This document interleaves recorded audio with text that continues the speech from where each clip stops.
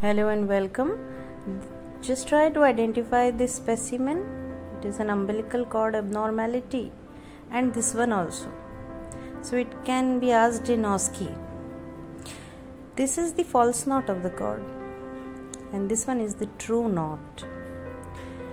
So how do we identify? The false knot तो वैसे ही दिख जाती है, सिर्फ़ उसके फॉर्म में थोड़ा सा डिफरेंस आता है। और ट्रू नॉट में तो एक्चुअल नॉट लगी होती है तो आइडेंटिफिकेशन तो मुश्किल नहीं है डिफ्रेंशिएशन तो diagnosis is on the basis of ultrasound three D four D ultrasound okay colour flow Doppler तो जहाँ फॉल्स नॉट है वहाँ पे कॉज क्या होता है उसका फॉल्स नॉट का?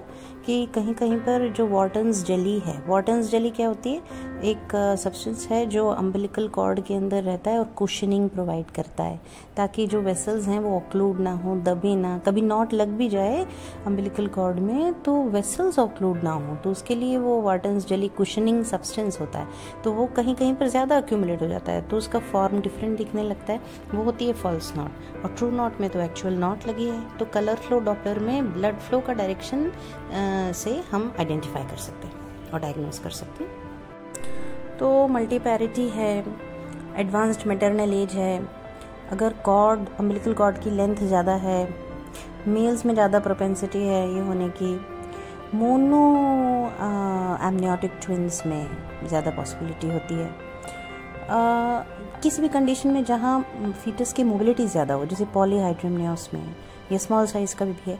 तो इन सब कंडीशंस में एक्चुअल नॉट फॉर्मेशन की पॉसिबिलिटी है। About 1% uh, of the term fetuses में knots आर आइडेंटिफाइड तो बच्चों कॉम्प्लिकेशंस क्या हो सकते हैं? तो अगर ट्रू नॉट है ना तो डिपेंड करता है कि वो टाइट नॉट है कि वीक लूज नॉट है। अगर लूज नॉट है तो कोई ज़रूरी नहीं है कि कोई कॉम्प्लिकेशन डेवलप हो। और प्रेगनेंसी अनइवेंटफुली चल सकती है। लेकिन अगर नॉट टाइट है वेसल्स ऑक्लूड हो रहे हैं हाइपोक्सिया हो रहा है तो hypoxic ischemic encephalopathy stillbirth है ना, इन सब के चांसेस हैं तो फीटस को डैमेज होगा। अगर ऑक्लूजन है, थोड़ा बहुत भी है तो इंसफिशेंसी की वजह से आई डेवलप हो जाएगा। तो ये सब रिस्क फैक्टर्स होते हैं। न्यूरोलॉजिकल डैमेज है ना? तो अगर हमने नॉट आइडेंटिफाई करी है अल्ट्रासाउंड पे। तो इन्वेस्टिगेशन क्या करेंगे? तो सबसे पहले तो पेशेंट को एडमिट कर लेंगे। For close observation fetal monitoring करेंगे क्लोजली कैसे करते हैं fetal monitoring electronic fetal monitoring करेंगे नॉन स्ट्रेस टेस्ट करेंगे बायोफिजिकल प्रोफ़ाइल करेंगे और डेली डेली करेंगे। फीटल की काउंट करने के लिए बोलेंगे मदर को। तो इस तरह से हम ये इंश्योर करेंगे कि कंडीशन डिटीरोरेट तो नहीं हो रही है। फीटस की ग्रोथ प्रॉपर है कि नहीं है?